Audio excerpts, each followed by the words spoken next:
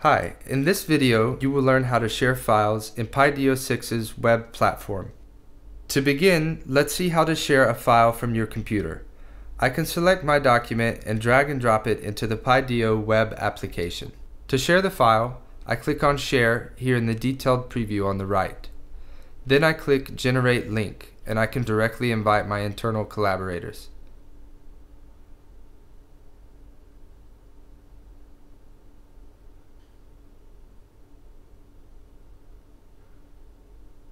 Or I can follow the key commands on my screen to copy the link.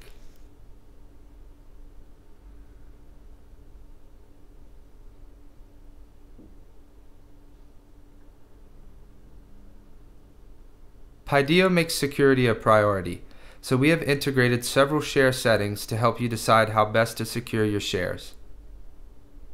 The first option you can use is to password protect your share. You can choose the password then generate your link as usual. When your collaborators open the link, they will have to enter the password you created before accessing the document.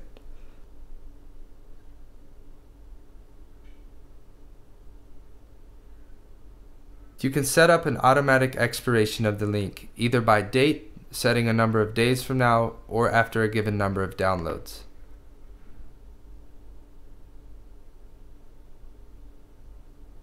After having generated my share, I can go back and edit it. If I click on change parameters, I can even update the custom handle for my share and make the link more user friendly. You then regenerate your shared link.